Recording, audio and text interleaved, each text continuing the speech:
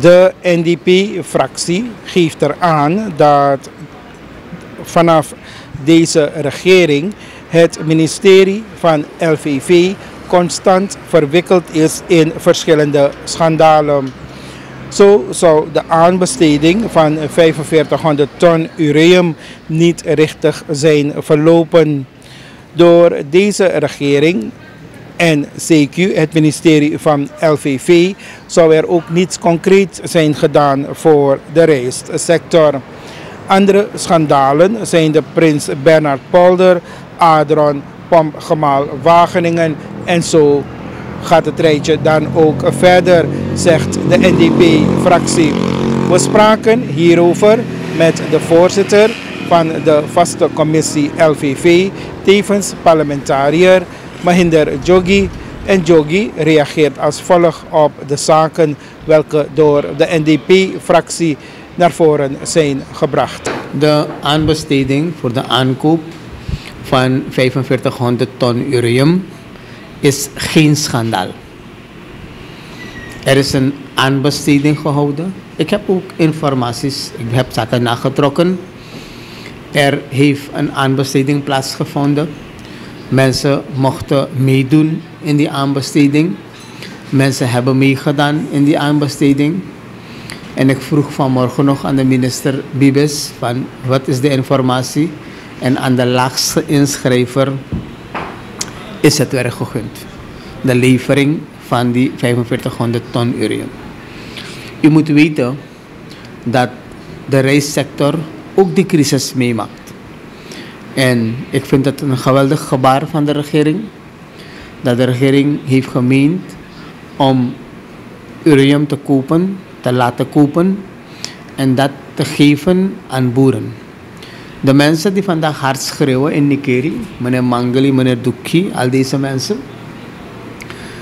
Vraag ze wat een zak ureum vandaag kost.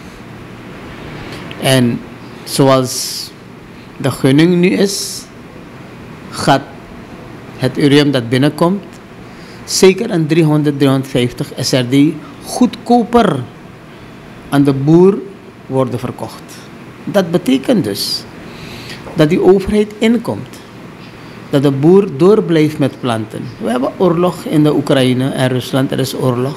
Iedereen mag zich zorgen om de prijs van graan op de wereldmarkt. Iedereen mag zich zorgen over de voedselvoorziening. In dit land hebben we een crisis veroorzaakt door dezezelfde NDP'ers en hun mannen en vrouwen die die brief hebben geschreven. Toch? En wanneer die regering een helpende hand biedt aan die agrariër, conform regels en procedures die in acht zijn genomen, het gaat niet. En de regering kon, gezien de nood, de acute nood, overgaan tot een onderhandse gunning. Dat kon de regering ook hebben gedaan. Maar de regering heeft ervoor gekozen om openbaar aan te besteden.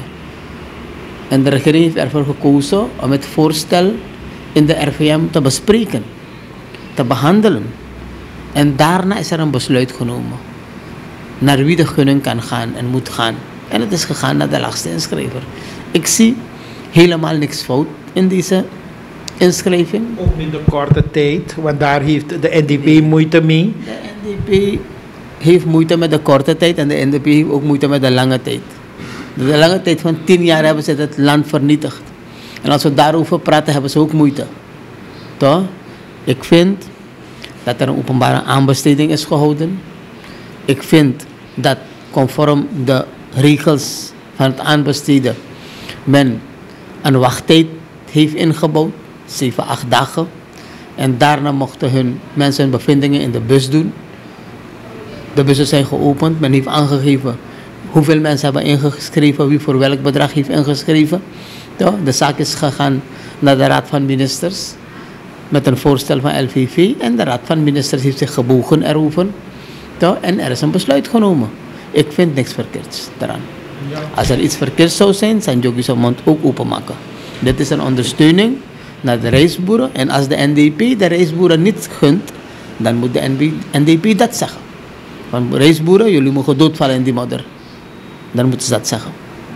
Wat ze ook verder aangeven, heer Jogi, dat in de 18 plus de 18 maanden dat deze regering zit, dat er niets concreets is gedaan voor de reissector? Er is veel gedaan voor de sector. U weet dat de president in het parlement heeft aangegeven dat vanwege wateroverlast dat we hebben gehad afgelopen jaar, april, mei, dat heel veel gebieden onder water zijn gelopen. Dat daar de regering 100 miljoen heeft vrijgemaakt voor onderhoud van infrastructuur. En ook Nikeri heeft van dat geld genoten. Ook daar zijn lozingen en kanalen opgeschoond geworden. Dus er is degelijk iets gebeurd daar. U ziet dat nu de regering heeft ingediend conceptwet NOVA, is goedgekeurd in het parlement. Dat is ook voor de reisboeren van Nikeri, evenals voor de mensen van het binnenland. Ook die mensen mogen daar geld gaan lenen, dus er is degelijk iets gedaan voor de mensen. De pompgemal van Wageningen, welke meneer Parmister en zijn mensen tien jaar lang niet hebben kunnen repareren, is nu in reparatie. De grote reparaties die deze mensen hebben uitgesteld continu, ondanks de vele miljoenen die ze hadden bij de centrale bank en overal, hebben ze de reparaties van de Wakijsluis altijd uitgesteld. Die reparatie van Wakijsluis is nu gaande.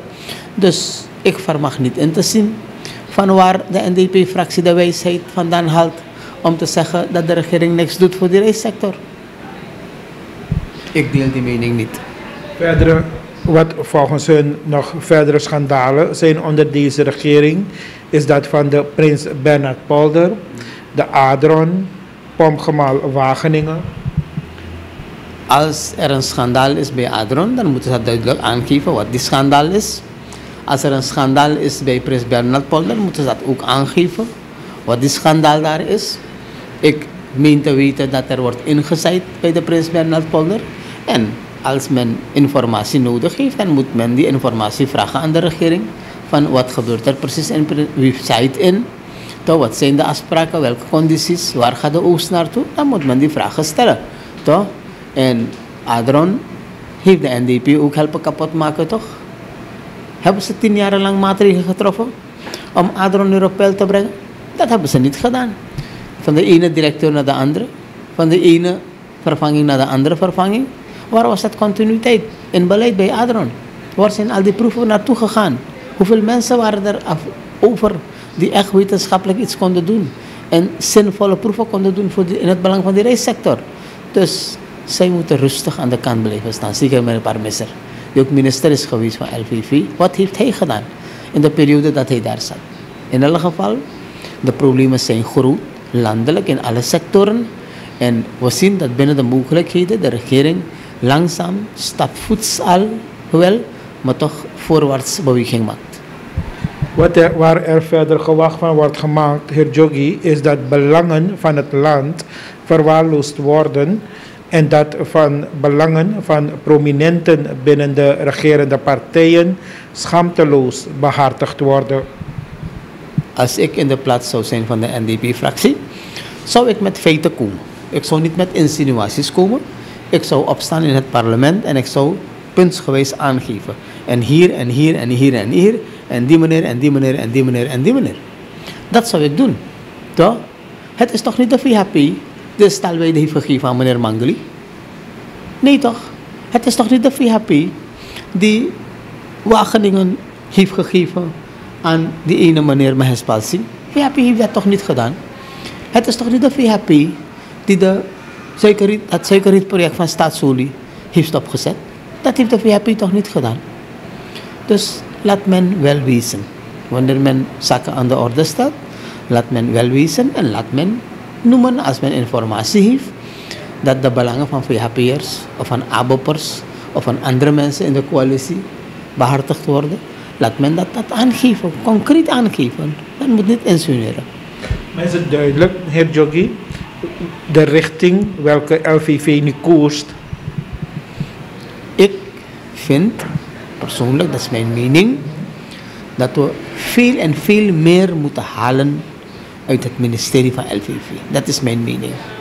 Toch? Maar de verwijten die de NDP-fractie maakt, die raken kant toch wel. Dat is gewoon puur stemmingmakerij. Dat is waarmee ze zich bezighouden. Ze hebben concreet niks aangegeven. Laat ze de feiten listen, laat ze de feiten noemen.